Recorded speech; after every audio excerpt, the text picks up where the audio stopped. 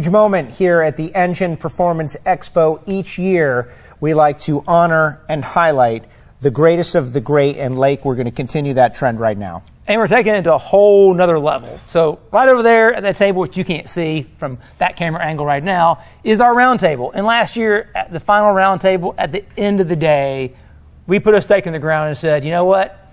We're going to go beyond this Lifetime Achievement Award. We need to do something to really honor the heroes of the engine building business. There needs to be an engine builder hall of fame. Yeah. No, I mean, and you have to understand, growing up in this industry, you know, I caught in the very tail end of a very magic time. Mm-hmm. You know, when some of the first people that I got to talk to was like Bob Glidden. You know, and you think about, and I mean, Bob cussed me like you wouldn't believe and stuff like that. They're, you know, you get to meet these people and they're heroes that you grew up, you grew up reading about and everything like that. And you start learning that this community, it's known inside the community who the real players were. Right. And these guys, they not only did amazing things, but they left a legacy behind them. They trained people.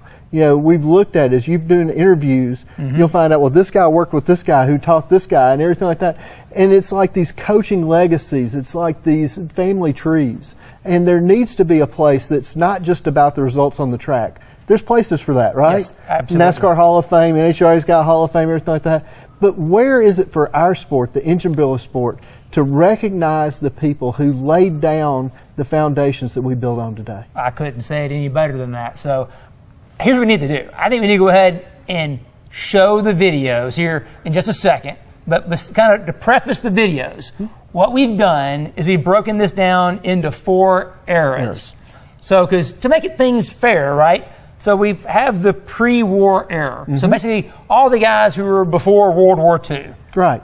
And they lived in a very different era because pre-war, they, there weren't any of these cylinder head manufacturers. If you had an idea, you created a pattern, you melted aluminum, you poured it into sand, you built it from hand. And so these guys deserve a, a place of their own because right. that's a whole different deal. Oh, completely different ball game, right? Mm-hmm.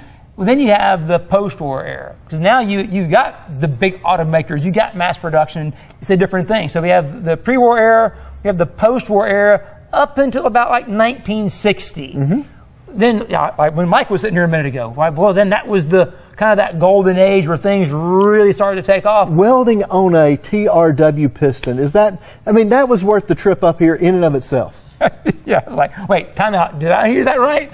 You know, that was that those guys in that right. era. You know, and that lasted until probably the mid 70s. Mm-hmm. Then you got companies like CompCams and stuff. Everyone's yeah. really coming in. There's there's there's more aftermarket parts now. I mean, the first year of PRI, you could have put this building we're in today for Engine Performance Expo could have fit 10 PRIs, right? Yeah you know, that they were, it was tiny. You go in today, it's a million square feet. Yeah. So what was it like during that era as it blew up into what we know today as the aftermarket industry? Right. So then you've got that next group that kind of came 70s to the 90s, like you said. So that's our group. So mm-hmm. what we're going to do is we're going to show you only one person in the inaugural class yeah. from each of those eras. And then tomorrow we're going to come back and we'll show you the second one. But go ahead and watch the video now and we'll come back and we'll discuss our selection in the end.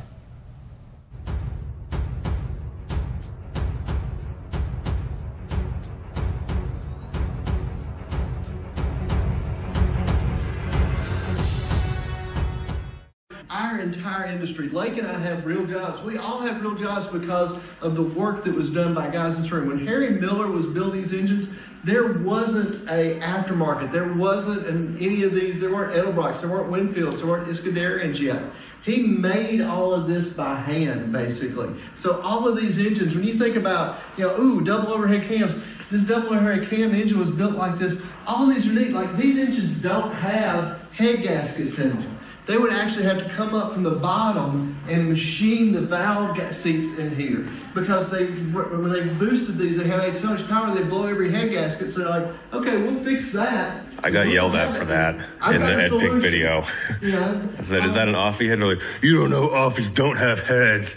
I'm like, uh, yeah. "No, sir, I don't know that. I'm not 60 years old." here, here is your offie. Yeah, that is the little 110. Here's your 270 offie. When did they realize that maybe making the head removable would be easier to work on? Um, mid 50s. I think the gasket, the gasket technology had to come around. Like, you know, there's a lot of things that go on here. They, you know, carburetors, they weren't good at metering fuel back in the day. So they had these updraft carburetors. So as everything got hot in here, it made the fuel more like lighter and vapor, and it'd be able to dis- distribute better and burn better. You have to realize this is really before gasoline was gasoline. You know, these early motors were low This is compression. Pre-tetraethyl lead. Right. Now there was nothing like that. So you have to understand, like, you have people like Rockefeller who were big on prohibition to get the bootleggers out of the gasoline market so the oil guys could have more of it. Yeah. So everything that we take for granted that just existed, it didn't exist back then. But I mean, think about these guys running the big superchargers on the front. And, you know, what'd you say 10 times today or 20 times today? That no ideas are really all that new. Well, We've just gotten the execution better. Well, like this engine right here is a 1953 Studebaker with four valves per cylinder, overhead camshafts, Hemi headed. I mean, what's your Hondas and Toyotas today? Four valves per cylinder, overhead cam, hemispherical combustion chamber. This was 1953. Yep. Right. Agajanian. That's a familiar name too. We just did the Mike Carb Museum. Yes. Yeah. Yep. The same people keep Yeah. coming up over and over again. Yeah. If you look at this, I mean, check out this draft table from I mean, imagine the talent it took to go in here and be able to conceive what's going on in three dimensions. There wasn't any CAD at the time. They weren't able to, to rotate anything. No rapid they, prototyping. They had to do this by hand. I mean, when it came time to make it, you made a sand casting, you poured it, or you had to machine it out of billet. So these guys were, man, they were just so, so good at what they did. He wanted to make good stuff, actually. He wanted to make boat engines, he wanted to make automobile engines, actually made some fantastic engines. The person who helped him the most was Leo Goosen because Miller would say, I need this, this, this, here's a concept. And Leo would write it all out and put it on paper, and they'd get machined, and everything worked. I had the Packard Wire special car in my shop in Redwood City. It was a Miller race car with a supercharger on it. We were going to restore it for the owner. Right now, the Packard Wire Special is in the Smithsonian. That engine was pretty cool. Uh, all the stuff on it was really nice. Uh, the machine work, he always had craftsmen working on stuff. Harry Miller was always going up and down, making a lot of money, losing a lot of money, making money, but he, he really loved what he was doing.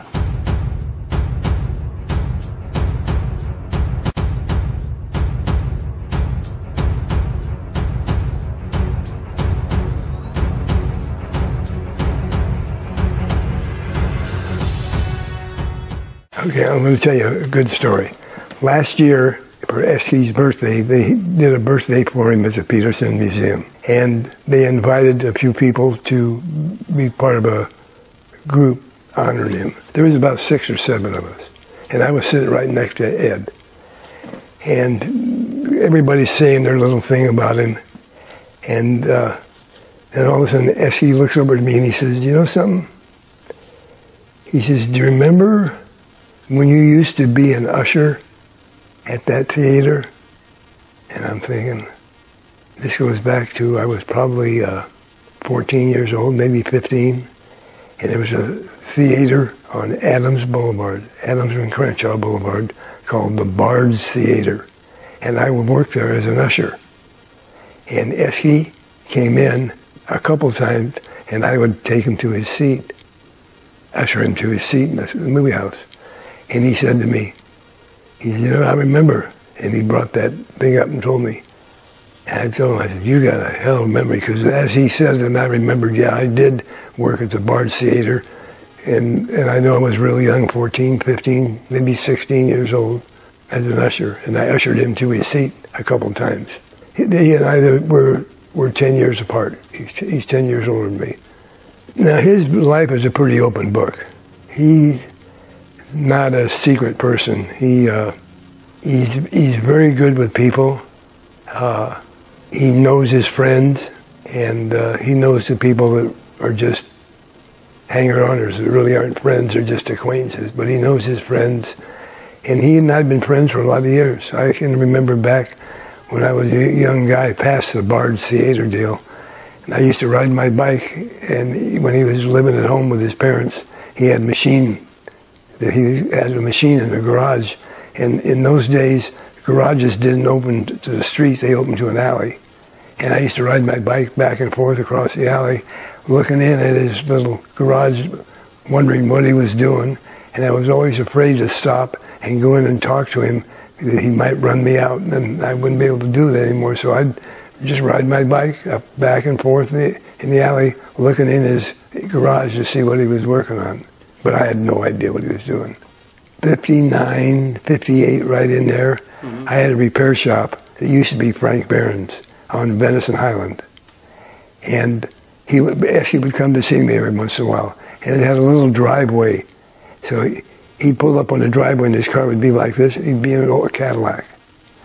And he'd get out of the car and oranges and apples would fall out and roll down the driveway. And he, he would get a, in fact, Sylvia has a picture of one of his cars that finally got to the point that he had to park it because there was no room for him to sit. He doesn't throw anything away. And I'll tell you a, a, very cute story. One time when he when he was still working full time, I needed to go and see him, and this is back probably in the early '60s when I first opened my first shop, first engine shop. And I went to the front desk, and uh, Norris Baronian was working for him, who later was Baronian Cams, Norris Cams. But anyway, uh, I took, they all knew me and I knew everybody there. And, and I said, I came in to see Ed. Okay. And they took, they took me to his office. And they sat me down in this chair behind his desk on the front of his front side of his desk. And I'm sitting in the chair waiting for Isky to show up. Because, and all of a sudden I'm sitting there and I look up like I'm looking at you and I see this little smoke ring go up in the eye. And I stood up and I looked it was Ed. He was sitting at the desk, but he's got so much junk piled on his desk, I couldn't see him. And all of a sudden, he's he was smoking a cigar, and the cigar smoke went up, and I realized there's somebody there. And I get up and looked, and there he is. And I says, "How long you been here?" He says, "I've been here a long time. How long you been here?" I said, well, "I've been sitting here for five or ten minutes waiting for you to come in here." I've been here all the time. And I said, "Well, he couldn't see you."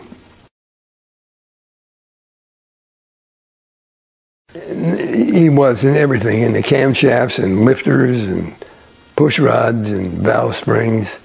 And uh, back in the day, he was the go-to guy if you, you for camshafts or whatever. And he had his uh, his brother uh, was one of his cam designers. They had him locked in a room all the time while he was doing all his designing. You know, the thing is this, that he knew what needed to get done and he got the right people to help him do it. And he didn't nickel and dime stuff. He, he did it right. He, he, he, was good for the sport, and the sport was good for him. I think it was a two-way street. He wasn't a guy that sold cams and took the profit and ran. You know, he he took he, he took care of everybody. He took care of his customers, and uh, now he's the first one with real race T-shirts. Yeah, he actually was the guy. He was, his cams were good, his springs were good, all his stuff was good. He did good PR work. He took care of his people, and the good Lord's taking care of him, letting him live so long. I would say Isky earned his with his performance and his promotions. And Vic did it flat racing and making racing equipment for the Flathead. What a character. I uh, go out and see his son, Richard Ron, and of course had to catch up with Ed. Well, Ed eats at the same hamburger place he's ate for for the last hundred years. and so we had to go down there. And what is so fascinating about Ed, now last time I saw Ed, he was probably, I don't know, 92 or 93. And the first thing Ed wants to know is, what are you doing? And he wants to know, what are you doing on this? And then he'd say, you know, back in 38 on this engine, we found, I mean, Ed's mind is just, you can see why he was so successful because he never stopped thinking and never stopped inquiring. And uh, I mean, I can't tell you. He, one of the fun things about Ed is he hated trash.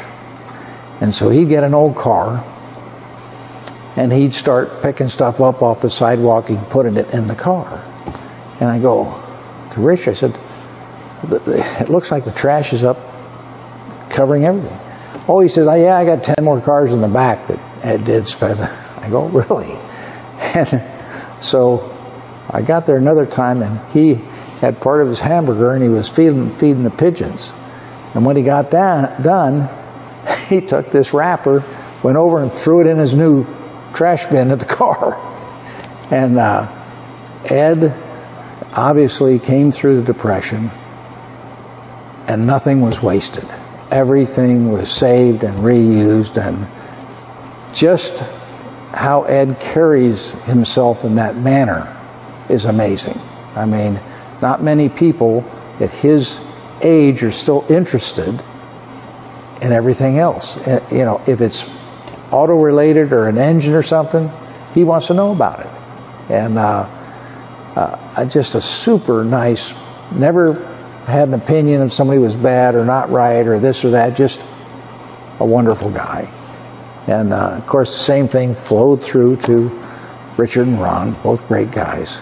And uh, but Ed, one off. I can't believe he's still here, but it's wonderful he is.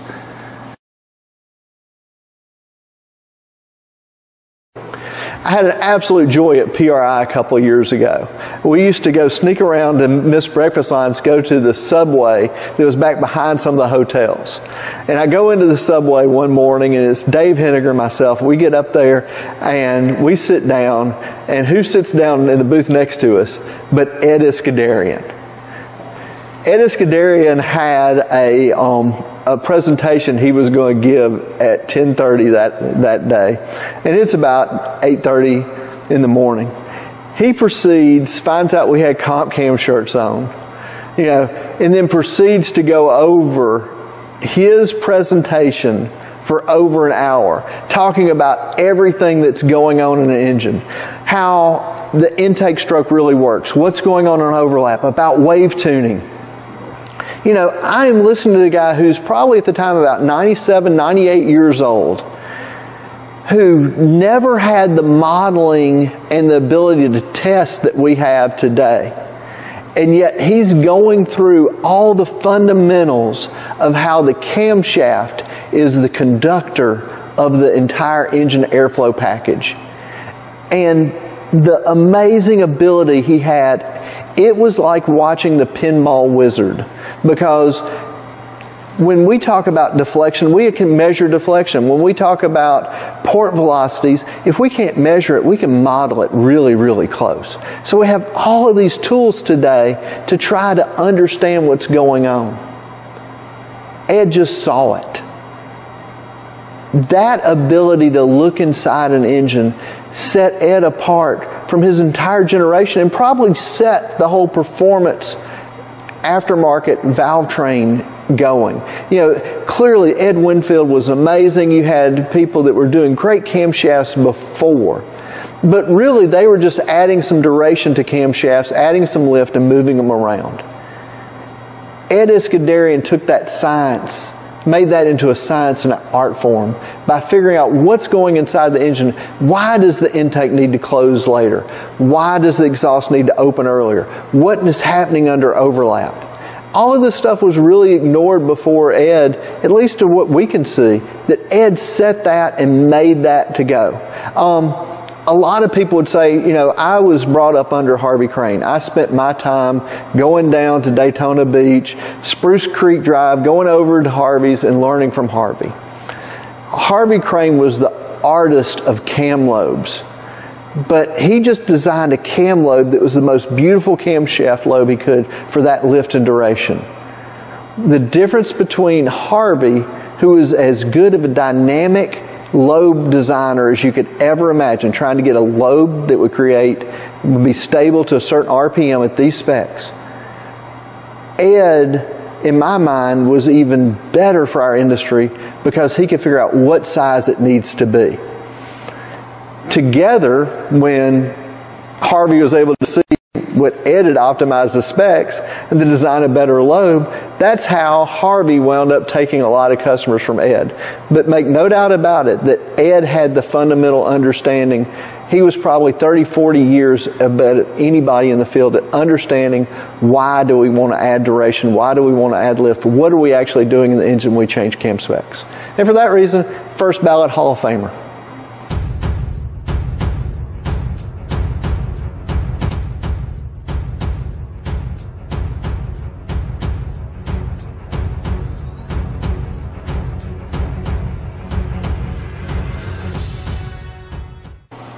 Uh, Ed Pink. Ed Pink, of course, everybody knows Ed Pink. And uh, I was running the GTP program and had done the, the V8 uh, engine. I had done a magnesium block, aluminum heads, carbon fiber everything. And of course, this is, this is in 19 mid 70s. And uh, the whole engine with the ECU weighed 268 pounds. It was 305 inches. And uh, we were making not quite 600 horsepower with it, which was pretty good. Anyway, we had some issues, and I asked Ed, would he take our current engine, look it over, give me some suggestions. Well, that led to Ed taking the program over. and uh, uh, Ed, just uh, super clever guy. The, the first thing he said, well, why, are, why is the engine together with silicone? I said, because people aren't using the O rings that are supposed to go in there. Oh, well, we'll never do that silicone again. And, you know, Ed was so specific about no leaks, easy to take things apart. How do you work on it? An amazing shop, an amazing person. And his record over the years, I don't think there's many people who even come close to Ed. In the wins, everything. Anyway, Ed boosted the program with his expertise. And uh, uh, wonderful person to work with. Never raised his voice, never, you know, he just worked and made it happen. And uh, the people in his shop were excellent, which you would expect. Ed demands the best, you know, so uh, I just saw where he put his last engine together, which was pretty cool. And uh, Ed, what a career, what a person, great individual, and uh, can't find a nicer person. Probably one of the coolest things that happened in my career is being able to call one gentleman a dear friend. Ed Pink is that guy. You know, there, Ed Pink was called the old master when I was probably riding on with training wheels. Back in the 70s, you see these advertisements, Ed Pink, the old master. And you see the advertisements with him doing, you know, this plug wire, or you see him in these yellow jackets. And, you know, Ed was just the guy back then. But then you go, you meet this guy and you start talking to him, you realize that not only was he the master back then, but Ed Pink has a mind that's just absolutely amazing when he would get into a project, it didn't matter whether it was for a Porsche, it didn't matter whether it was a Land Speed, it didn't matter it was the FE Fords. He went to work for Toyota. He did all the work on their midget. He went and did the stuff on their drift cars. Of course, all the work he did with um, Infiniti on the on the um, IndyCar IRL stuff any engine, he could just sit there and look at it and massage it and rub it, and he'd always find more power. And I remember like when he was working for TRD, you know, he and I are joking around, we're going to take a sprint car motor and put it into one of these little Toyotas and put this, this driver behind the wheel and it's pretty amazing because we're like, okay, this is a, a 410 World of Outlaw sprint motor. You know, this guy is going to absolutely lose it. So we start playing with it and everything. We get, you know, no rules, so let's make a longer stroke, let's get all this stuff. We put this absolute monster of this engine together. And they get out there and they're doing filming on the Canyon Road out in California. And the driver gets out and said, yeah, it's pretty good high. I need some more down low. You know, and so, you know, Ed calls me on my cell phone from the from from the event, and you know, and the thing is, instead of just telling him to shut up, Ed was the guy like, okay. And so we went and totally redesigned this valve train system to work with that head, you know, to take this 450 inch sprint car motor and focus the peak torque for the transients down around 3,500, 4,000. And some still turned 9,000. And I remember working on it. I don't think there was anything like that at the day.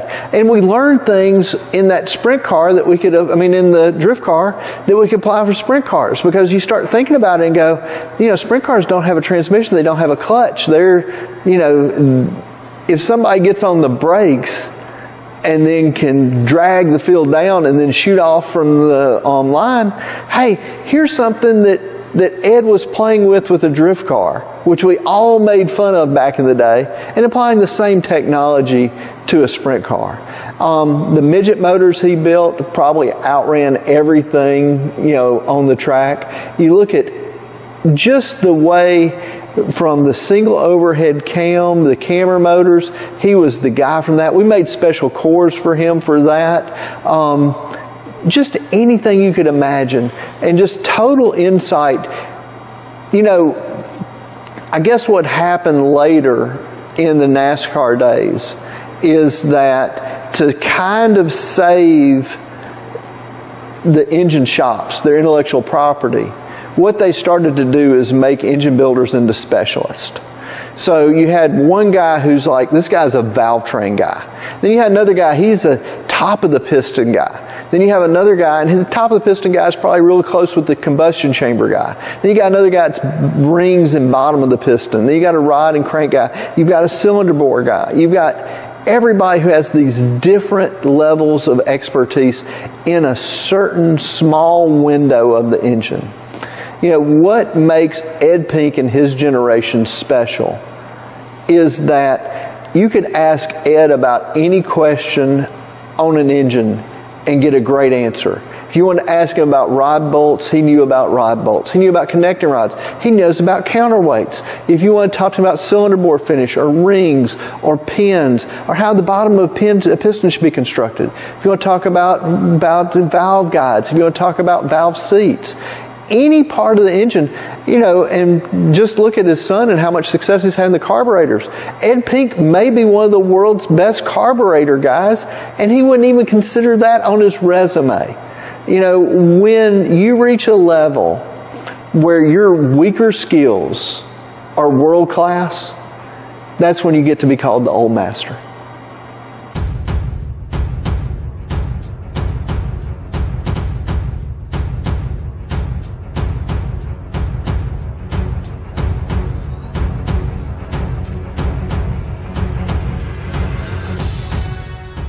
John was good friends with Mark Heffington at Cam Dynamics.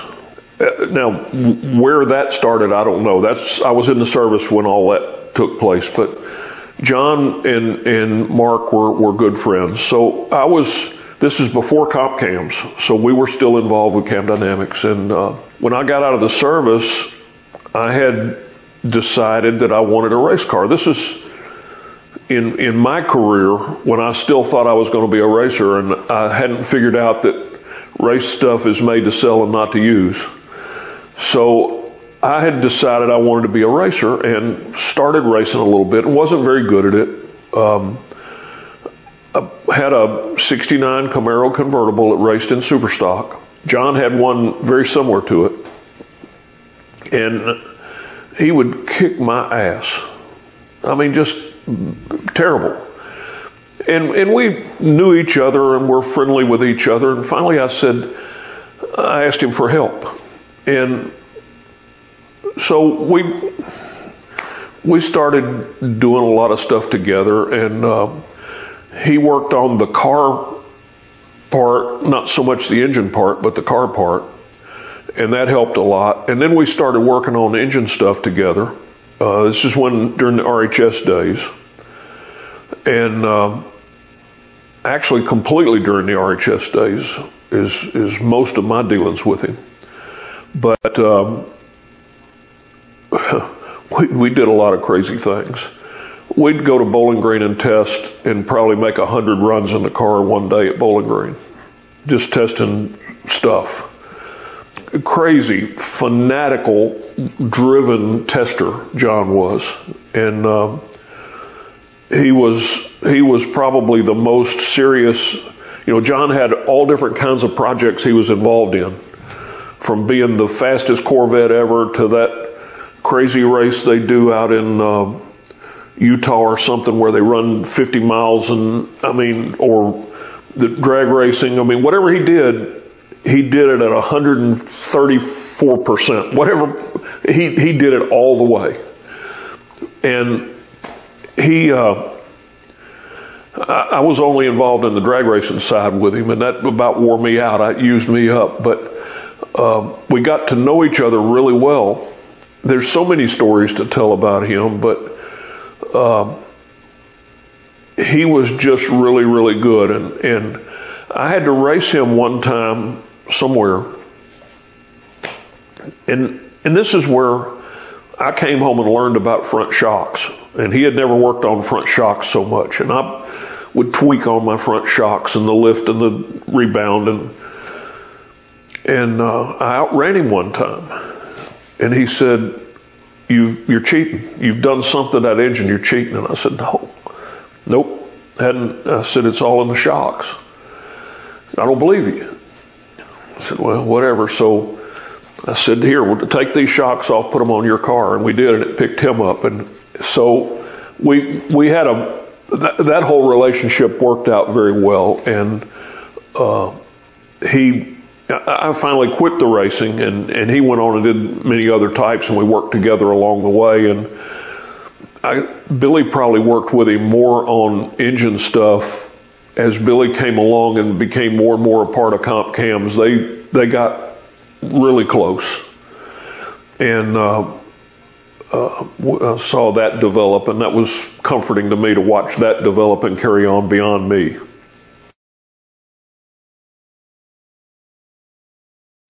Uh, and, and, I'll say one big difference John was very analytical about what he did. He studied everything. He wouldn't, uh, as Bob wouldn't understand timing events of a cam, John understood every event, what it did, why. He didn't really know how to move them around, but he understood what he wanted it to do. And he'd come to us to say, Here, this is what I want to do. Now you go do it for me and give it back. So they were very different in those respects, but very similar in the ways that they were just possessed with doing 100% of what they knew how to do. Yeah, as far as I know, he started in drag racing and, and went on from a business standpoint to do his uh, his street Corvettes and all the other things. And John may have been maybe next to Carl Wegner, may have been the worst businessman I ever knew because he just could not figure out uh, how to how to keep any money. I mean, he'd either spend it on racing or spend it on women or whatever, but he enjoyed every minute of everything that he did and never worried about money. And after he passed away, his brother came in. His brother was a very successful businessman, and he had the uh, Castrol dealership in the southeast United States on the industrial side. Very successful, and uh, he cleaned up the business and got it all straightened out. And he would just shake his head about John and all of his business dealings, but uh, he was really, really good at all the other stuff he did.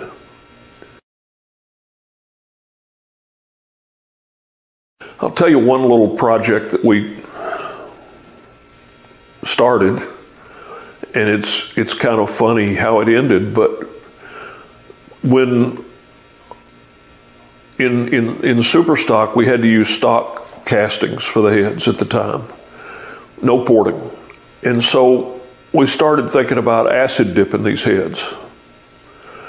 And neither one of us had ever done any of that. So at the time, he had a little engine shop in uh, in Decatur, Indiana. It was right beside a, a river. Right behind his shop, the bank went down to the river, little small river.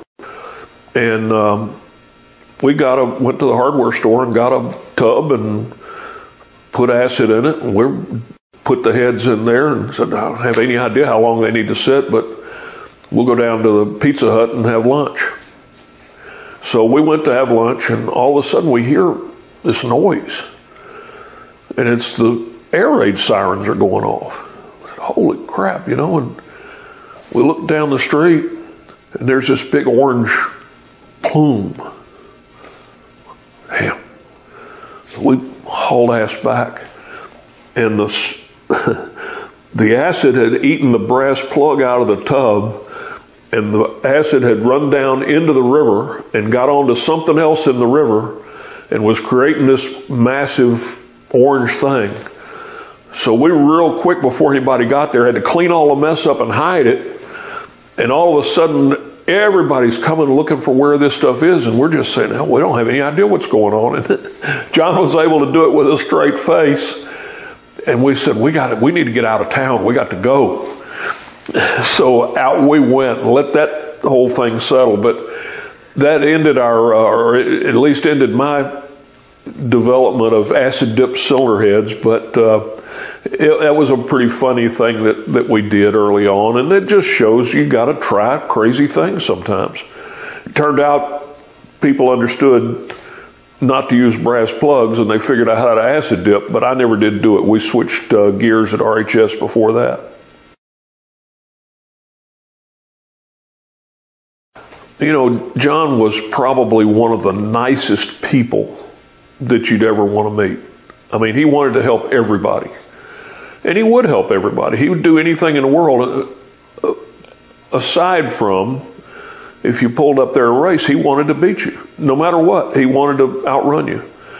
And um, I don't know if it's much of a, as much of a story as it is just a statement about him, a word about our relationship. When he got hurt in California, you know, he crashed his sub, his compact, whatever it was.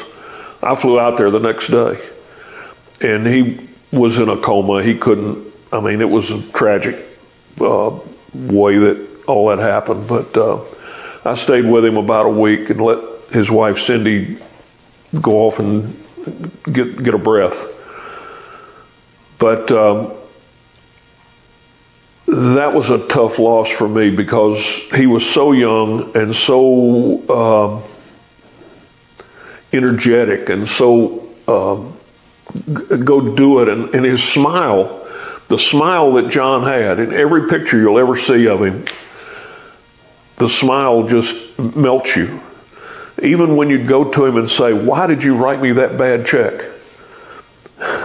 The smile, you'd just say, Damn, I wish I hadn't done that. I wish I hadn't brought that up because it melts you. You know, one of the things that got him a lot of press was um, about 1980, 79, 80, somewhere in there, at the U.S. Nationals, he had a Corvette Superstock car that was lightning fast. And they used to allow a time trial Monday morning before the final eliminations. And he went up for that time trial, and when he was leaving the line, the torque of the engine just pulled the side of the block out. This is before we had all front mounts and all that. It had regular side mounts. You just pulled the, cracked the block, pulled that out. Everybody else would have said, you know, hell, it's four hours before we have to run a. Not John. Sitting there thinking, and there's a helicopter doing tours around the park. And he thought, I have a block at the shop that's all ready to go.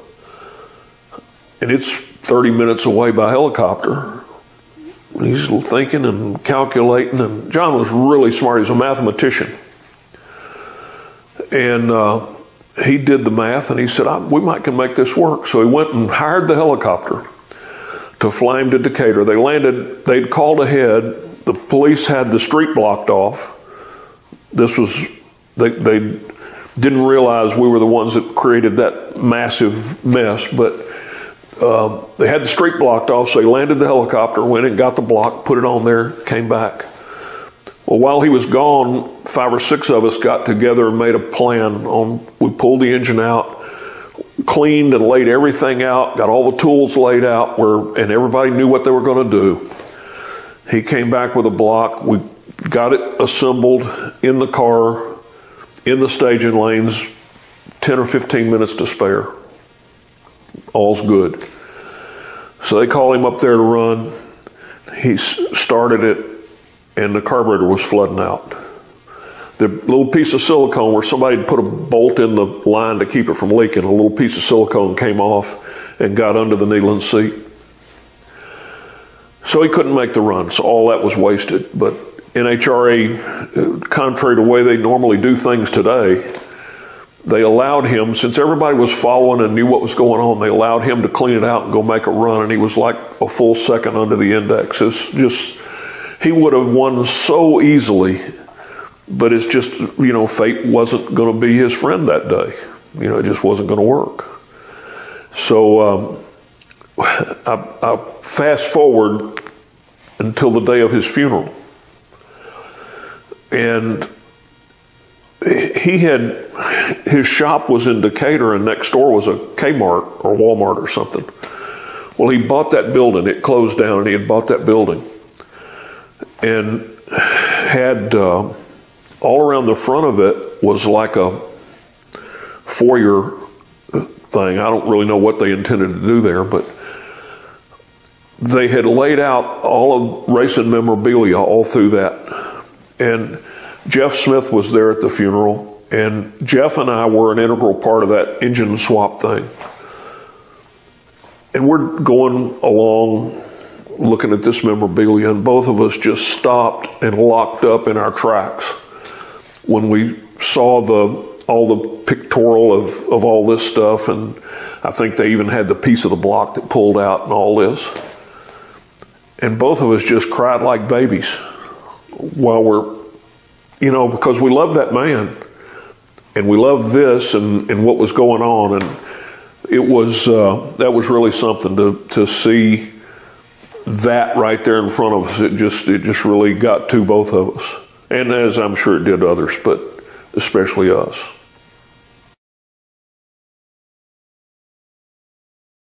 John Lingenfelter, we probably have known each other 30 something years. And uh, the one thing about John that was amazing was his smile. He just melted everybody.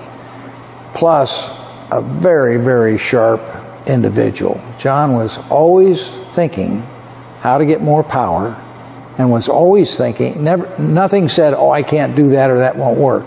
He tried some crazy stuff, you know, and that's what made John so successful in his business where I came along, I was running the Pontiac program, and uh, the four cylinder Pontiac was the first deal for the Fiero, and then it went uh, into NASCAR, then it went uh, into road racing, and we went against an IMSA against the 924 Porsche, which had won everything for the last 200 years. anyway, and uh, what I couldn't understand was the four cylinder was making more horsepower per cubic inch than what we could get out of our V8. We had the NASCAR head head done in the big block, but couldn't come close. And so John, I called John and said, look, we're making over two horsepower per cubic inch. I'd like to see if we could put two four cylinders on a V8. Think you could do that for us? And he goes, Well, what do you think for the head gasket? I said, Well, you're going to have to fake the head gasket because the water hole, nothing's going to line up. And all we want to do is be able to run it for a short period of time to get some power figures on a V8. They said, Sure. So anyway, I sent him some finished heads. And uh, of course, John had to work out how to get the push rods from the V8 up to the cylinder head, which was a challenge.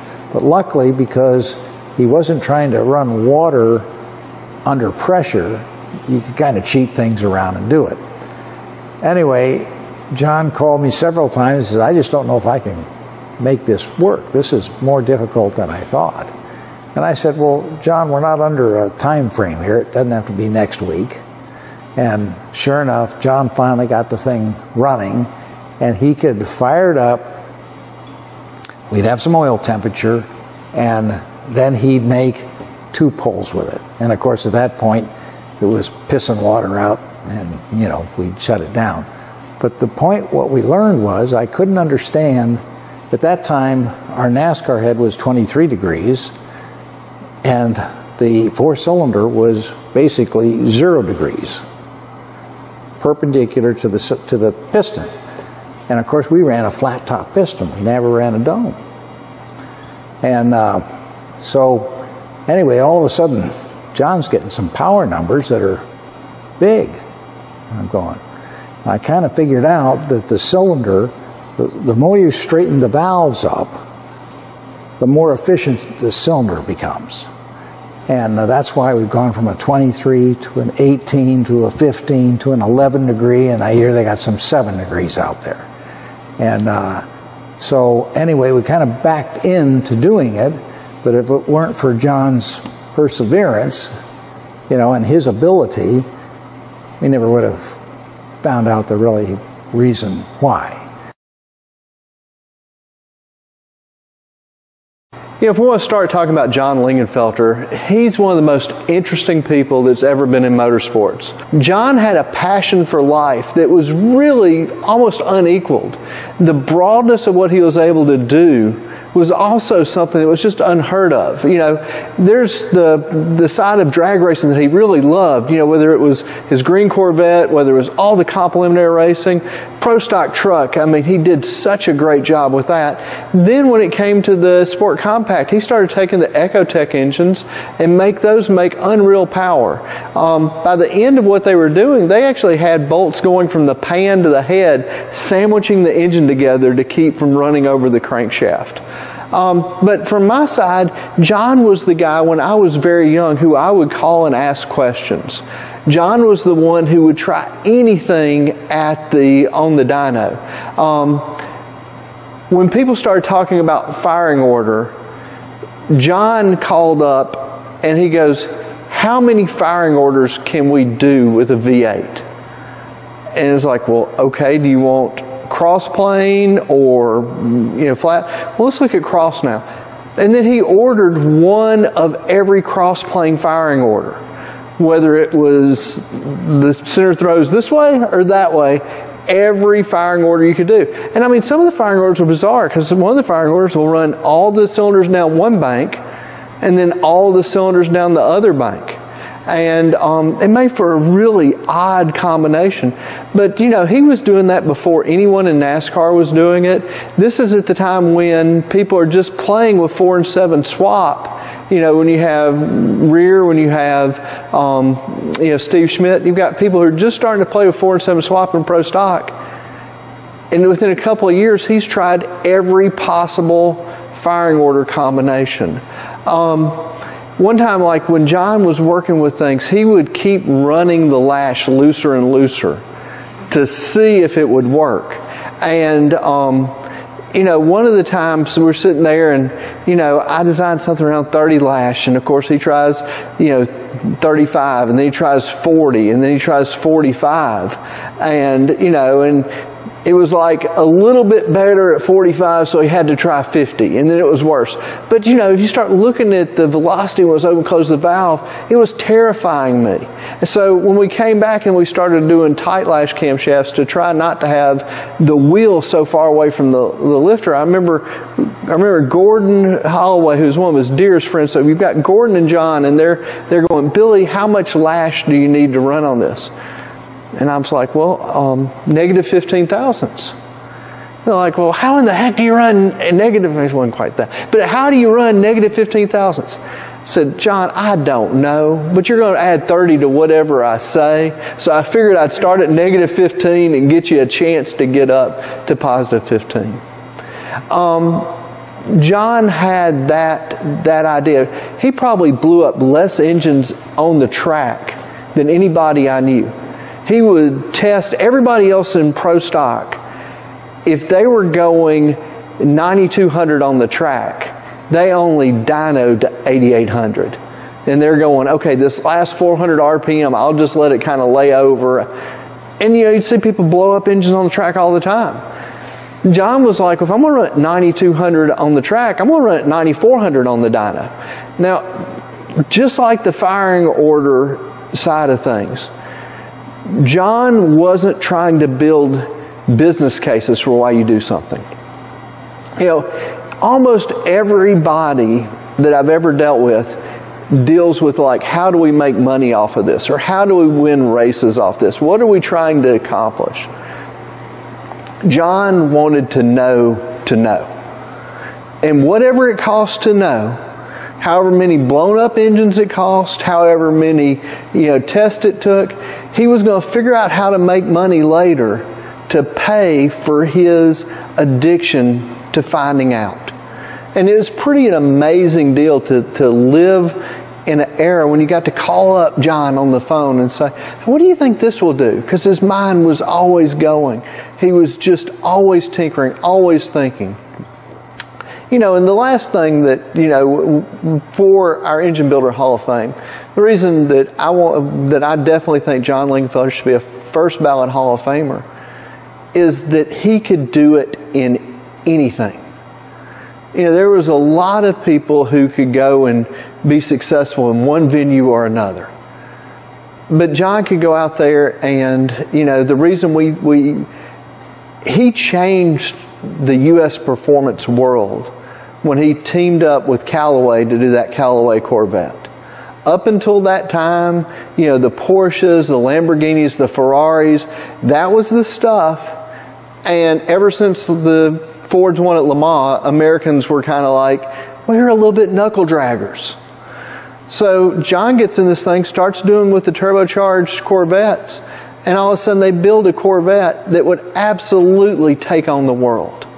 And, you know, it made the people at Motor Trend crazy. It made, I'm sure there were people cursing him in Japanese, Italian, and German, you know.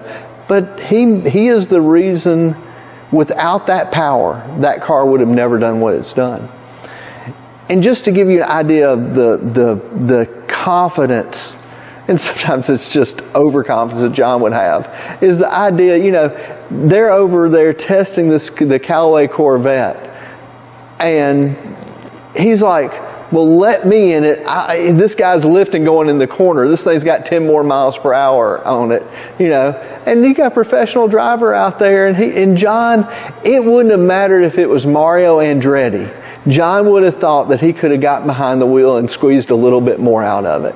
And so something like that, that, that passion for motorsports, that passion for life, that passion for finding out, that separates John and puts him into what we believe is a first ballot Hall of Famer for the Engine Builder Hall of Fame. The Engine Builder Hall of Fame is born. Amazing, amazing videos, the history, the credit where credit is deserved and is now, we, you spoke it into existence. Well, this is the best thing we ever did, right? We put that stake in the ground, said we're going to do it, and man, it's been worthwhile. No, it's one of these things that you start going, oh, we're going to do this. But until you start it, and then you go, okay, this, and then there's so many great people. You know, you can't do one of these without ruffling some serious feathers, right? Oh, oh yeah. I'm sure there in the comments it's already yeah. blowing up. You can't believe you didn't do this guy, that guy. And we have four more tomorrow. Four right. more tomorrow. So yes, yeah, exactly. The initial Save class comments for tomorrow. This will be our, our initial class. Will be eight personalities, engine builders for the Engine Builder Hall of Fame. But uh, these first four, amazing. Take me behind the scenes to the selection process because you know that that's always where the, you know no one wants to see how the sausage gets made. they just want to eat the sausage. We just ate the sausage and it was awesome. Tell me about how the sausage was made. This had to be very challenging and very difficult uh, to make sure that you got it right. Well, it was an iterative process that really began with defining what the criteria is. It can't be a popularity contest. I mean, you know, you can Google search that, right? It had to be what engine builders changed the way we build engines. What engine builders had people that they mentored? Who had the coaching tree? Who had the people who came out and how did they change our world? Why why do we do things differently today because of them? Not just they're famous, not just they're great promoting, not just they sold a lot of engines. Yeah, I don't care how many engines you sold. How did you change the way that we that engines are built today? Well, you said it earlier. It's not about how many race wins you had, because there's other Hall of Fames for that. Absolutely. Whatever sport you're in, NHRA or NASCAR or whatever, it's about that enduring legacy that mm-hmm. you left an imprint. And you know, the very first video, the very first person, Harry Miller. Yeah. There isn't any of this without Harry Miller, a guy that, in the infancy of the Indy 500, said, "Yeah, I- we're going to go do this. We're going to win, no matter what it mm-hmm. takes. We'll figure out a way to win." And you know, front wheel drive cars. And I mean, cars that are art. There's mm-hmm. not many race cars in the Smithsonian, but one of Miller's is in the Smithsonian. Right. And not only is the car art, every component of that engine is art. Mm-hmm. You know, that it was making the form right to do what it needed to do. And it was one of the things you'll see on everyone that we we've introduced in this in this first class is none of them were there because they were out to make money or they were out to do this. They were out to win these races, to, to accomplish this. And they didn't care whether it was easy or hard. They were just going to do it. Right. Whatever it took, let's just do it. Make it happen. Yes. You know, and the thing about Miller that kind of again struck me is that it's that legacy effect too. That it's not just Harry Miller. You had guys like Leo Goosen. You had uh, Ed Winfield. Um, the Agajanians were involved. Uh, it- that whole group of people early did. They just kind of propagated and become the, the family tree of the performance racing industry we know now. Right. You don't have you don't have you don't have Ed Winfield without Harry Miller, and you don't have Ed Iskenderian without Ed Winfield. Right. So you've you've got to have him in there. And apparently Ed Pink rode his bike behind uh, Yeah. Shop when he was no. a kid. I'm like, Right, that's still mind all- blowing. They're all hooked up together. They Right. really are. You know, it's amazing. Yeah, and then you know, little fun fact. So when you were watching that video with Ed Pink, that 427 Cammer engine sitting next to him, that was his very last engine that Mm-hmm. he ever built. Yeah, and he thought this thing over just a hundred times. I mean, you know, he'd get started on it, go, no, I want to do this different. I want to do this different. And it was, it was cool. You know, get to be behind the scenes and know a little bit about what went on there. I mean, Ed Pink is one of my heroes. It's like one of these that Ed Pink probably could have made our Engine Builder Hall of Fame five different times. Right. you know, for different seasons of his career. He's that amazing of a guy. And really, his heart and his passion for the industry and the people of it is every bit as his, his skill that he has in his hands. And I just hate it that I never got to know John Lingenfelter. The, the, that time I spent with Scooter and yourself and, and John Callies learning about, I, mean, I knew the name. How do you not know the name Lingenfelter? Uh, especially, I mean, Lingenfelter Corvettes. I mean, that recently they did that, what, zero to 150 back to zero thing? And it's like, the Lingenfelter Corvette from 20 years ago was still faster than most of the other cars. Right, and even the, some of the ones that he's not known for, he was doing the engines for, and those Corvettes put American motor, American product on the same stage as the best that Porsche, Ferrari, Lamborghini, anybody had to. You know, he's like, bring your best and let's see who's got it. Yeah. And those cars that he he was involved with, they were at the top. But he had that passion in everything he did, and touched so many forms of motorsports. And it's crazy to think that the whole valve angle thing that he was right there, him and Callie's, and it's like, oh yeah, take this four cylinder Pontiac head and put it on a V8 and make a run. No, there, there's absolutely nothing that John wouldn't have done. The passion that he had, the inquisitive mind. I mean, like they taught that million dollar smile and just mm-hmm. bring you into it. And it was just like you would do anything in the world. See all his competitors huddled around his car, putting it together to make a round against them. Right. John was somebody who could smile at you and he would make you work your tail off so he could beat you. You know? But he had that passion. Charisma. He just wanted to go for it. charisma, passion, charisma, energy, and uh, Contagious. Yeah. These guys were contagious. Right. Which is why they are Are the the engine inaugural class Engine Builder Hall of Fame. Yep. That's why it's there. That's why this is so fun. Can't wait for tomorrow. four more tomorrow. Oh, better four be more here. tomorrow is going to be fantastic, and then there's going to be next year. This is this is just getting started. Yeah, no, excellent, excellent work, and an honor to uh, to see and be in the field. And, and there should have been a Hall of Fame, and there is a Hall of Fame just like that. Done. Made it, made it happen. We'll do more tomorrow, but we're going to keep on rolling. Yes. We have got uh, we've got more to come. We're going to do a check in with Project Pontiac in a few minutes as Yeah. well. That is still going on. I've been out there like scouting it. Yeah. But before that, we got to talk a little about balancing with our buddy Randy Neal. What a day, what a day, what a day. But yeah, my brain, my brain is swollen. I've learned so much today. They told us, don't start cars. We are